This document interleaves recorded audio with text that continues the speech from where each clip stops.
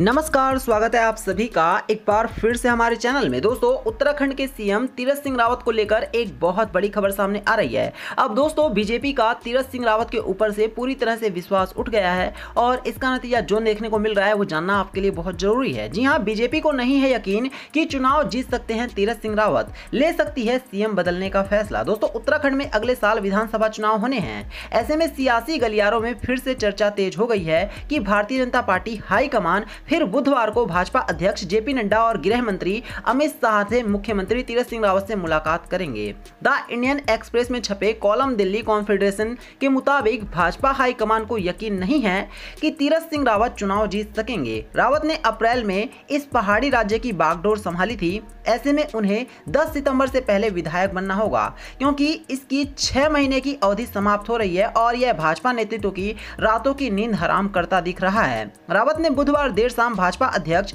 JP Nadda और गृह मंत्री अमित शाह के साथ बैठक की। लेकिन उनके भविष्य पर कोई अंतिम फैसला नहीं हो पाया है। अंतिम समय में चुनाव से बचने के लिए भाजपा नया मुख्यमंत्री नियुक्त कर सकती है।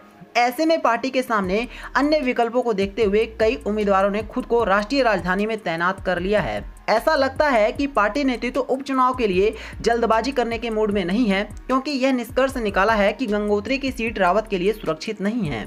बीजेपी की राज्य इकाई को भी पता नहीं है कि क्या हो रहा है, क्योंकि वहाँ के नेताओं को ज़ाहिर तौर पर लूप में नहीं रखा गया है। हालाँकि एक वर्ग ने सुझाव दिया है कि राज्य के चुनाव को आगे बढ़ाया जा सकता है, लेकिन पार्टी नेतृत्व तो स्पष्ट रूप से अभी इस पर फैसला नहीं ले पा रही है। तो साफ़ है कि बीजेपी का अब तीरथ सिंह रावत पर से विश्वास उठने लग गया है और निश्चित तौर पर जो उत्तराखंड में 2022 में चुनाव होगा, उस पर कोई और दोस्तों आप सभी को सीएम पद के लिए बीजेपी की तरफ़ से लड़ता हुआ नज़र आ सकता है।